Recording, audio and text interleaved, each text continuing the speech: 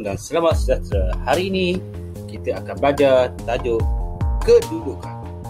Kedudukan ialah letaknya suatu objek dalam sesuatu kawasan.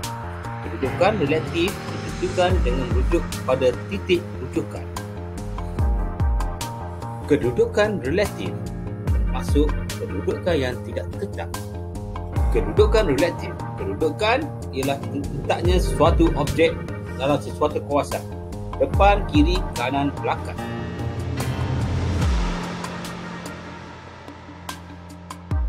Bukan relatif, pastikan muka anda menghadap pada siapa.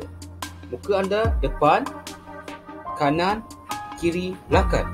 Contohnya, font berada di depan asma.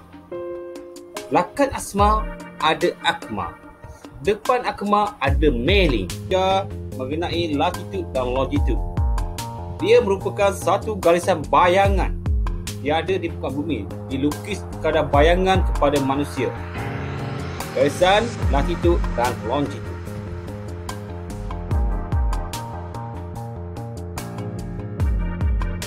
Latitude ialah garisan yang dilukis secara melintang ataupun mendata pada globe atau peta atlas bermula ke Arktik, Satan, Katulistiwa, jadi Antartik. Garisan yang terpanjang ialah garisan Katulistiwa.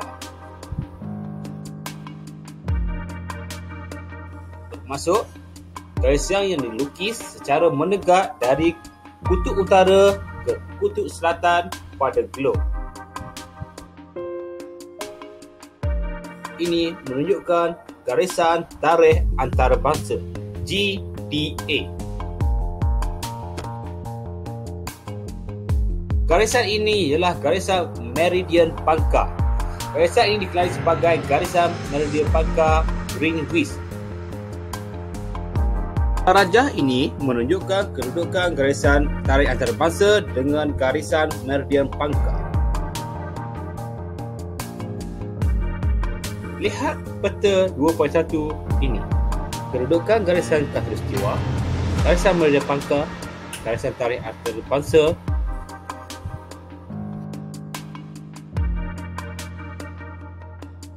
Bagaimana untuk menentukan kedudukan berdasarkan latitude dan longitude? Pertama sekali, anda hendaklah membaca latitude, kemudian diikuti longitude. Contohnya, 30 darjah U, 40 darjah T.